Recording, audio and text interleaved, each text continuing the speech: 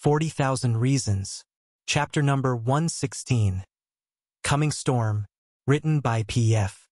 After two weeks of traveling through the warp, we reached the Forge Triplex Phall to find it in great upheaval.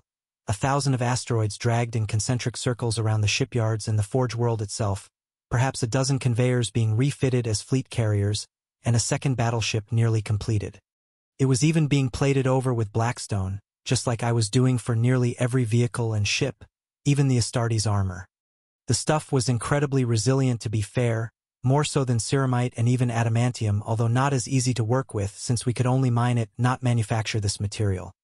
Anyway, I was glad to see at least the Ultima Segmentum forges adapting to produce better products, after stagnating and even decaying for 10,000 years. Sure, perhaps the sudden decrease in Chaos, Eldar and Dark Eldar incursions and raids helped as well, and the looming threat of the Tyranids and the sudden awakening of more Necron tomb worlds also contributed to the frenetic activity. P.F. Lancefire, we owe you much but everything you've seen in orbit is being requisitioned by the Defendarius Crusade. I can give you no ships. The fabricator declared loudly after glancing at Inquisitor Vale for a second.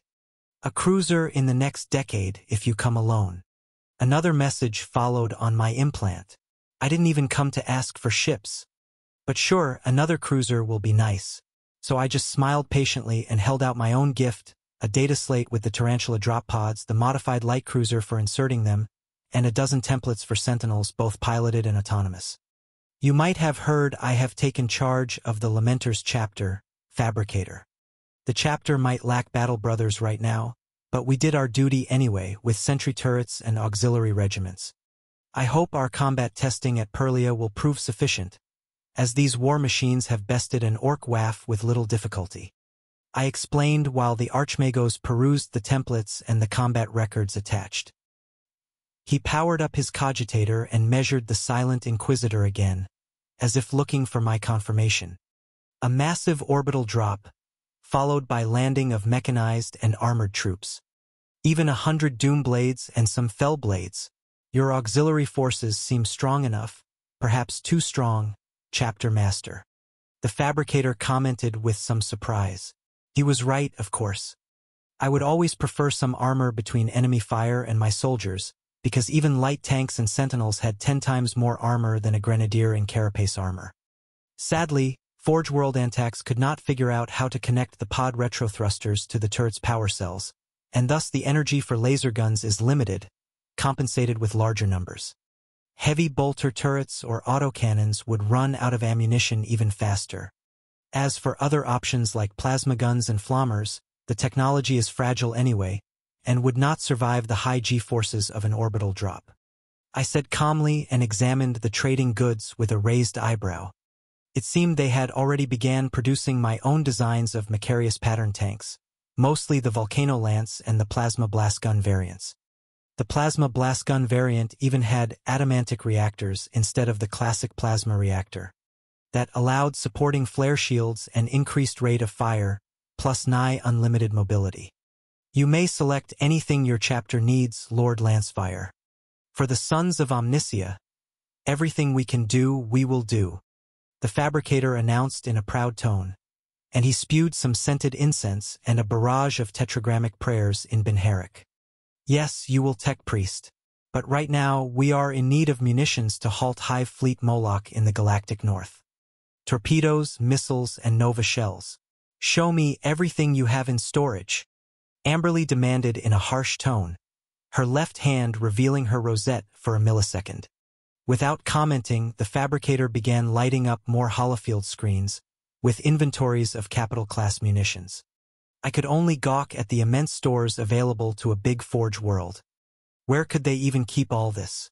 For starters, I shall requisition torpedoes, 200 atmospheric incendiaries, and 20 vortex warheads. Then 1,000 melta warheads, and 400.000 plasma warheads. As for Nova shells, I think most of them, 4,600 Nova shells, and you'll have 97 remaining to resupply the Victory battleship's holding station in orbit.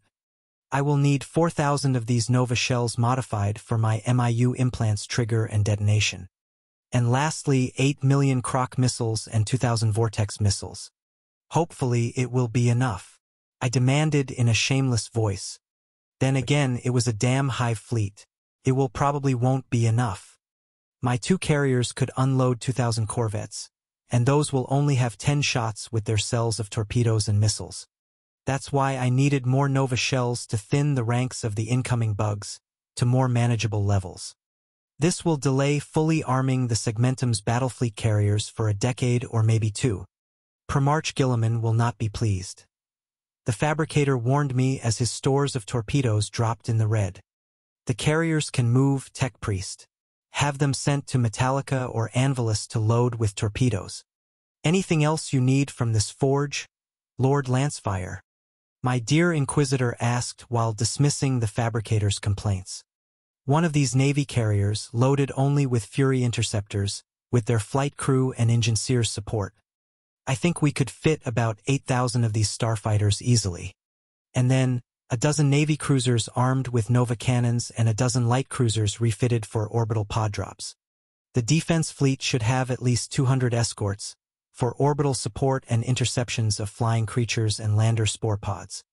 Mostly armed with energy-based weapons, if possible. The new drop cruisers shall be remitted to my Lamenter's chapter, if and when this hive fleet is defeated. There are more planets out there in the fringe that will need to be reconquered. I concluded in a thoughtful voice. The story has been stolen. If detected on Amazon, report the violation. Well, the Lamenters were in theory a fleet-based chapter, and once we had a full complement we could start attacking and conquering anything we found in the eastern fringe, while the rogue trader dynasty would benefit by absorbing those conquered planets and star systems into our domain. The fabricator general measured me for a long minute, then nodded slowly. We will need a year to prepare everything to your needs, Lord Lancefire. And the Lady Inquisitor better have an ear to her superiors, or this plan of your might fall apart, just like Inquisitor's Kryptman plan did. You will not need Astra Militarum guardsmen for this, I would expect at least 100 regiments for an operation on this scale. I sighed inward while considering the offer. Generally, most Imperial Guard regiments would be poorly supplied and poorly trained, and would not help much when the horizon was filled with moving fields of Tyranid's biological war engines.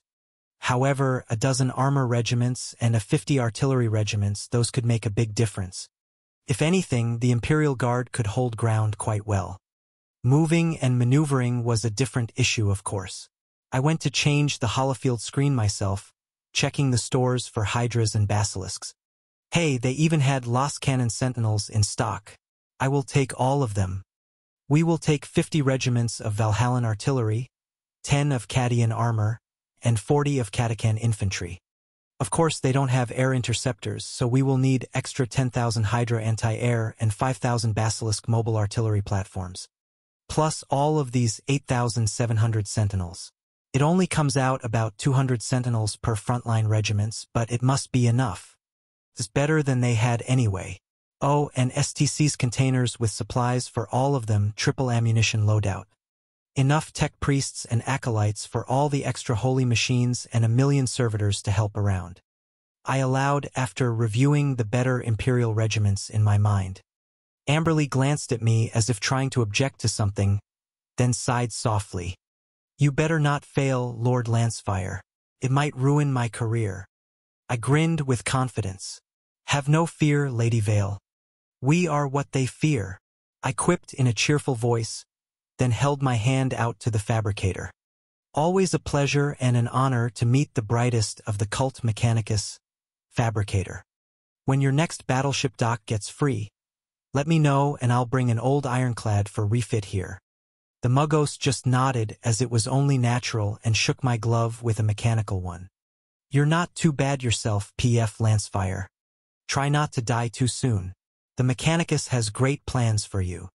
Well, wasn't that ominous at all? Then again, I did kinda lift an entire segmentum with my own shoulders.